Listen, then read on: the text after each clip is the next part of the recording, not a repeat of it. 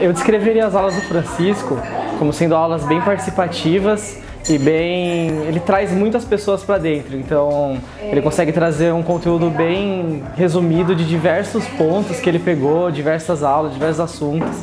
Eu acho que é, é muito legal porque ele resume de uma forma simples e bem participativa com a galera, então você consegue aprender bastante com ele e com, com os outros membros do grupo. Eu definiria a Scalable é, com a palavra de inspiração e talvez desafiar o status quo.